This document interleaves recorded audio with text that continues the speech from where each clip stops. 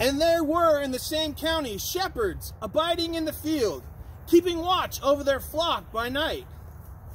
And lo, the angel of the Lord came upon them, and the glory of the Lord shone upon all about them, and they were so afraid.